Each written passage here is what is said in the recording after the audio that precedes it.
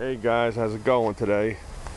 Uh, I wanted to make this video uh, because uh, in about an hour from now the car is going going on a flatbed out of here for about a week or so, maybe a week or two. Uh, and also it's early morning and the sun ain't over here and I could get a good shot of everything. Uh, as you know, I've been having troubles out the yang here with the wiring on this car. And uh, I've done about everything I could do to it to try to remedy the situation and I uh, decided to take it to a professional. Uh, there was a buddy of mine who was going to come down from Chicago and do it.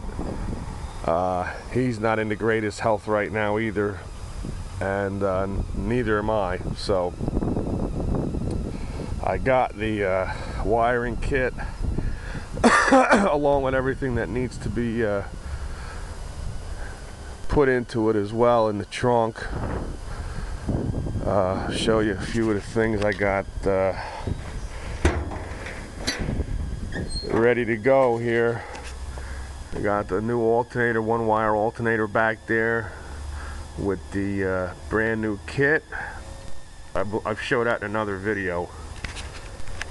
Got a box here, old parts and wires, new rear bulbs, kind of make it easy for the guys up there. Here we got the brand new uh, dash carrier with the gauges in there already. That has to be put in along with the uh, hardware and some gauges and I threw the assembly manual in there and uh, the body book so this way these guys have what they need but uh, over the weekend I uh, I was running the car and it uh, it was tapping. You know, you have the, an exhaust leak, and I just absolutely hate exhaust leaks. So I uh, decided I was gonna uh, change the uh, the header gasket. But I figured, what the hell? I got brand new headers. I may as well uh, throw one on there, you know, as well because they're going to be changed out anyway. So I uh, I did that. I put the uh, at least I got this side, the uh, driver's side, done with the uh, header and the new gasket.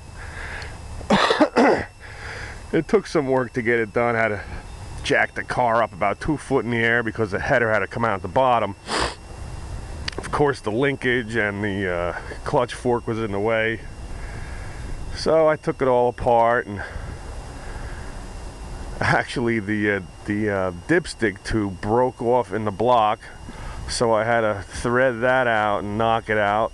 That took about an hour and a half. And uh, well needless to say I got the job done. Fired up. No more exhaust leaks right everything uh, seems to be fine with it right yeah I was happy Oh yeah, I was happy for about, uh, well, overnight I was happy. Uh, yesterday I came out here to get everything in the car to uh, get it ready for the guy who was coming. And I fired up, and my intention was to bring it across the street over there, move some cars around.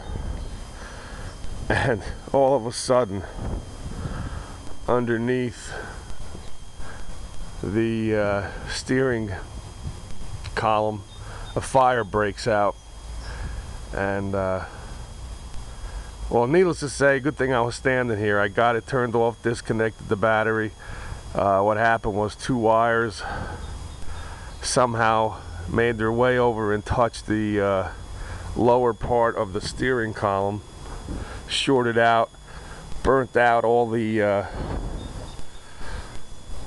you know, the cases over tops of the wiring. Uh, so that was his last hurrah. so it couldn't have come at a better time to get this damn car over to the uh, place where it's going to get wired. Because now I can't even, it, it, it turns over but it won't stay running because the wires are completely toasted. I climb under there to show you what burnt, burnt but I'm not going to bother doing that. I just uh, wanted to show you I did get the console in because the guys have to uh, the guys are going to have to uh, wire that up as well so I mounted it and I threw one seat in there so they can move you know they well originally to drive it into the shop but now we're gonna have to push it. Uh, yeah so that's how that all went. So right now I just called the towing outfit and they uh, they said uh, their guys are out blah blah blah. It's gonna be about an hour before they get back so I figure I'd shoot you all a video, tell you what's going on with this. Uh, it's going in, like I said, an hour, hour and a half, probably be a week or two. So you won't see this car for a while. Hopefully when I get it back, everything works. And this will be just a bad memory of all this wiring. I mean, at times I feel this car is like possessed. I mean, it just either it doesn't want to get put back on the road or or what. I mean, I've never had such trouble with a car. but anyway, let me turn this off before the batteries die out. I just want to get this video up and everything, so I'll make another one, let you know how things are things are going and everything, all right? And uh, to my buddy Rich who was going to come out here and uh, and do this job I want to wish him the best of luck with getting his health back on track. He has a, an operation coming and uh, well that's about all I'll say with that. Uh, good luck Rich. I hope everything works out for you. And uh, I'll be in touch. Okay? Alright everybody. Have a good day and I'll see you all soon take care. Wish me luck